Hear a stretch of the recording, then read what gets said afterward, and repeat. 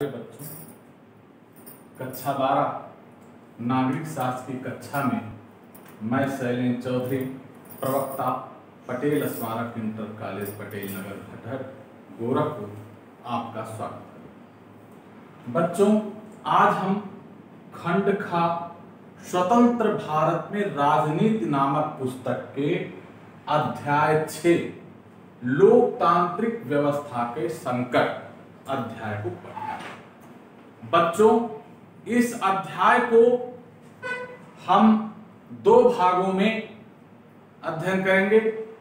पहले भाग में हम पढ़ेंगे आपातकाल की पृष्ठभूमि के कारण, आपातकाल की घोषणा व आपातकाल के परिणाम।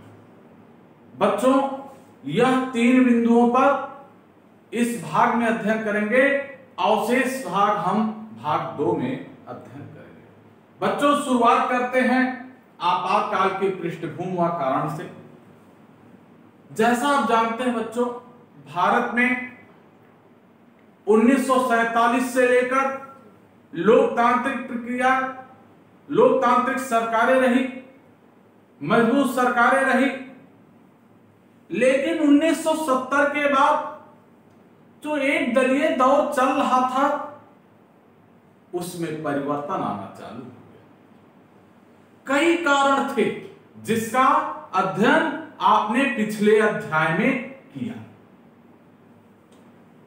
लेकिन वे महत्वपूर्ण कौन सी कारण बने? आपातकाल की पृष्ठभूमि में उन कारणों को खोजना होगा हमें। जैसे किसी कार्य के पीछे कोई कारण होता है, उसी तरह जो 1975 में आपातकाल लगा, उसके पीछे भी कुछ कारण थे। उसकी पृष्ठभूमि ऐसे नहीं तैयार पहला क्या था? आर्थिक संदर्भों की बात की जाए, बच्चों, आर्थिक स्थिति तो पहले से खराब चली आ रही थी। भारत में लगातार बासठ, पैंसठ के युद्ध, फिर इकहत्तर के युद्ध, बीच में उन्नीस सौ सड़सठ अड़सठ का भीषण अकाल विश्व में बढ़ते हुए पेट्रोलियम उत्पादों के मूल्यों में जो बढ़ोतरी हुई, उसके कारण हमारी आर्थिक स्थिति कमज़ोर बेरोजगारी बढ़ी, मुद्रा मुद्रास्फीति की दर बढ़ी जगह जगह आंदोलन हुए। इस आर्थिक जो कठिनाई का दौर था, इसमें भूखमरी, गरीबी, बेरोजगारी, ये सब बढ़े, जिससे जब व्यक्ति भूखा होता है तो आंदोलन की तरफ़ वो अग्रसर होता है। बच्चों, इसके अलावा गुजरात और बिहार में आंदोलन। गुजरात में जनवरी 1974 में भूखे लोगों द्वारा, बेरोजगारों द्वारा, छात्रों द्वारा, कामगारों द्वारा महँगाई के विरुद्ध में एक व्यापक जन आंदोलन उठ हुआ। उसके व्यापक परिणाम हुए। इसी तरह मार्च 1974 में बिहार में एक आंदोलन स्वतः स्फूर्त खड़ा उठ खड़ा हुआ। जिसमें अगुवाई युवा वर्ग के हाथों में थी। और इस दौर में, बच्चों, ये ध्यान रखना, युवा वर्ग के लोगों ने, जो युवा वर्ग के छात्र थे, विश्वविद्यालयों के जो छात्र थे, वे आंदोलन में कूदे और उन्होंने जयप्रकाश नारायण के पास जाकर अनुरोध किया कि वे इस आंदोलन की बागडोर को अपने हाथों में लें। उन्होंने अहिंसक आंदोलन की बात कही जिसे छात्रों ने स्वीकार किया और तब जयप्रकाश नारायण ने 1974 में जाकर आंदोलन की बागडोर अपने हाथ में संभाली। ये पृष्ठभूमि तैयार हो रहा था। देश में व्यापक आंदोलन के लिए। इसी तरह न्यायपालिका से संघर्ष। बच्चों, अनेक न्यायपालिका के जो फैसले थे वे सरकार के विरुद्ध थे। सरकार उनसे असहमत थी, क्योंकि सरकार अपनी प्रभुसत्ता चाहती थी। लेकिन न्यायपालिका संविधान को सर्वोच्च मानते हुए केशवानंद भारती बनाम भारत संघ के विवाद में 1973 में जो सात और छह के बहुमत से एक संविधान पीठ ने निर्णय दिया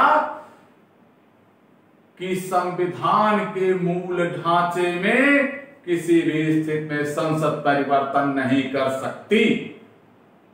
अब बहुमत की सरकार, इंदिरा सरकार को ये चीज़ें बहुत अच्छी नहीं लगी। उन्होंने असहमत होते हुए संविधान में नया संशोधन कर दिया। न्यायालय ने पुनः उच्च घोषित कर दिया। ये जो न्यायालय के मध्य और सरकार के मध्य जो विवाद चला, उसने भी कहीं ना कहीं आपातकाल को लागू होने में महत्वपूर्ण भूमिका निभाई। अब बच्चों, आगे बढ़ते हैं। आपातकाल की घोषणा। घोषणा में कहीं ना कहीं 1975 में जो इंदिरा गांधी का निर्वाचन था, जिसे इलाहाबाद हाई कोर्ट ने उनके निर्वाचन को रद्द घोषित कर दिया और उन्हें संसद की कार्यवाही में रोक लगा दी। अब प्रश्न ये उठा कि सरकार तो बहुमत में है न्यायालय ने निर्वाचन रद्द कर दिया। अब क्या हो? चूँकि सत्ता का मोह बहुत बड़ा होता है, और उस स्थिति में सत्ता में बने रहने का ही निर्णय सरकार के सलाहकारों द्वारा श्रीमती गांधी को दिया गया। यह जो निर्वाचन था रद्द होना, यह बहुत बड़ी घटना हुई, जिसके विरुद्ध पूरे विपक्ष ने एक बार पुनः बिगुल और जेपी का जो आंदोलन हुआ, और उग्र होता गया। पूरे देश में व्याप्त होता गया। क्यों? क्योंकि उस आंदोलन ने बिहार और गुजरात के बाहर अपनी सीमाओं का विस्तार किया और इस देश का युवा वर्ग हर जगह सामने आया, क्योंकि जो सरकार की नीतियाँ थी, जिसके कारण बेरोजगारी बढ़ी, गरीबी बढ़ी थी, जो आर्थिक कारण थे, उसके कारण भी जुड़ाव हुआ लोगों का। सरकार और न्यायपालिका के मध्य विवाद ने घी का काम किया आग में। और उसमें जो इंदिरा का निर्वाचन, इंदिरा गांधी का निर्वाचन रद्द किया गया, अवैध घोषित किया गया इलाहाबाद हाई कोर्ट द्वारा, वह तो और जो है मील का पत्थर साबित हुआ। लेकिन ऐसी परिस्थिति में बच्चों, भारतीय लोकतंत्र के ऊपर कहीं ना कहीं संकट के बादल मरवाना प्रारंभ हो गए। उन संकट के बादलों की आहट इन आंदोलनों से देखी जा सकती है, जिसकी शुरुआत 1970 से हो चुकी थी। उन स्थितियों में इंदिरा गांधी ने अपने सलाहकारों से सलाह लेते हुए यह निर्णय लिया कि देश में अनुच्छेद तीन सौ बावन का उपयोग किया जाए। बच्चों, महत्वपूर्ण यह है कि अनुच्छेद तीन सौ बावन क्या है? अनुच्छेद तीन सौ बावन में उस समय कहा गया था कि बाह्य आक्रमण और आंतरिक सशस्त्र विद्रोह, आंतरिक विद्रोह, उस समय सशस्त्र शब्द ही था। आंतरिक विद्रोह व शांत की स्थिति में इसका प्रयोग किया जा सकता है। इंदिरा गांधी ने इस अनुच्छेद का प्रयोग करते हुए पूरे देश में 25 जून 1975 को आपातकाल घोषित कर दिया। बच्चों, इस आपातकाल के लागू होने से अनेक चीज़ें उभर कर सामने आई। जो लोकतंत्र के लिए एक सबक बन गई। जिस आधार पे आंतरिक अशांति शब्द के आधार पे जो लगाया गया था, आपातकाल, उसे बाद में सरकारों ने अनुभव करते हुए उस शब्द के स्थान पर लिख दिया कि बाह्य आक्रमण। और आंतरिक सशस्त्र विद्रोह। सशस्त्र विद्रोह शब्द का प्रयोग कर दिया कि आधार पर ही आपातकाल लगाया जा सकता है। क्योंकि इस तरह तो लोकतंत्र का गला कोई भी सरकार घोट सकती थी, जो लोकतांत्रिक व्यवस्था पर संकट सिद्ध हो सकता था। जो इंदिरा गांधी ने 1975 में भारतीय लोकतंत्र के साथ एक खुला खेल खेला। उसको रोकना भी ज़रूरी था। इसीलिए जो साधार पर 1975 में आपातकाल लगाया गया था, बाद में उसे संशोधित कर दिया गया। कि कोई सरकारें दोबारा भारतीय लोकतांत्रिक व्यवस्था पर संकट उत्पन्न ना कर सके।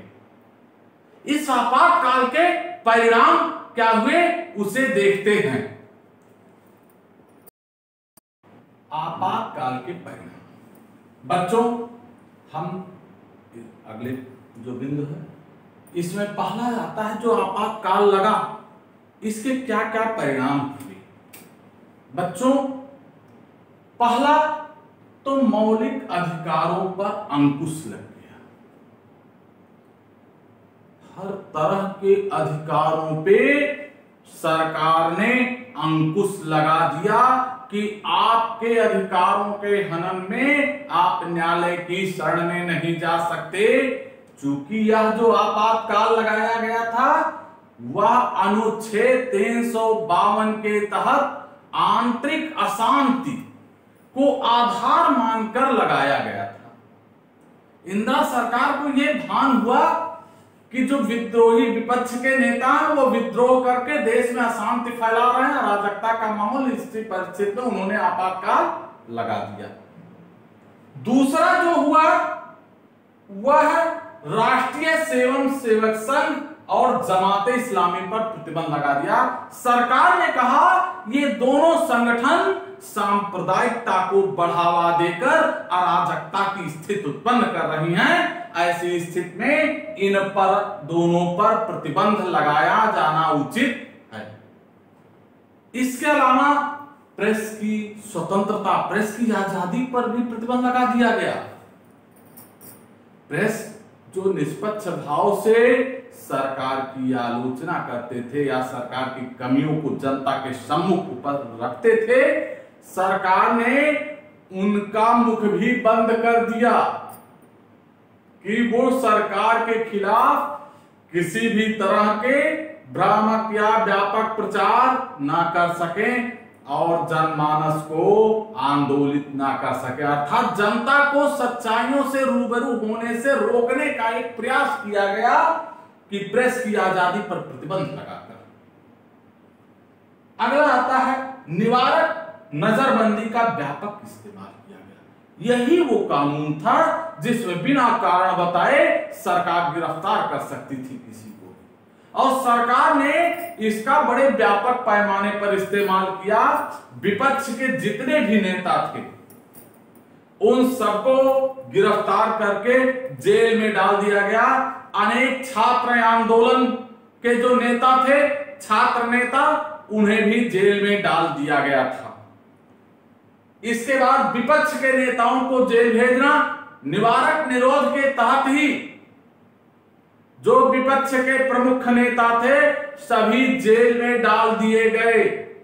वो चाहे जॉर्ज फर्नांडिस हो, स्वर्गीय लाल जो है, अटल बिहारी वाजपेयी जी रहे हों लालू प्रसाद यादव, मुलायम सिंह यादव जो वर्तमान में हैं, विजू पटनायक, ये तमाम नेता जो विपक्ष के थे, इन्हें जेल में डाल दिया गया। सरकार अपनी नाकामी को छिपाने के लिए ऐसा कदम उठा रही थी। इसके बाद संसद के कार्यकाल को बढ़ाना। इंदिरा गांधी ने आपातकाल लागू करते हुए संसद का कार्यकाल एक वर्ष के लिए बढ़ा दिया। सामान्यतः लोकतांत्रिक सरकारें भारत में पाँच साल की होती है। लेकिन जब आपातकाल लगा हो तो उस स्थिति में संसद के कार्यकाल को बढ़ाया जा सकता है। इंदिरा गांधी ने इसी का सहारा लेते हुए जो चुनाव 1976 में होना चाहिए था, उसके कार्यकाल को एक साल और बढ़ा दिया। तो इस तरह बच्चों, ये भाग एक, लोकतांत्रिक व्यवस्था के संकट का भाग एक समाप्त होता है। अगले भाग में हम पुनः मिलेंगे। धन्यवाद।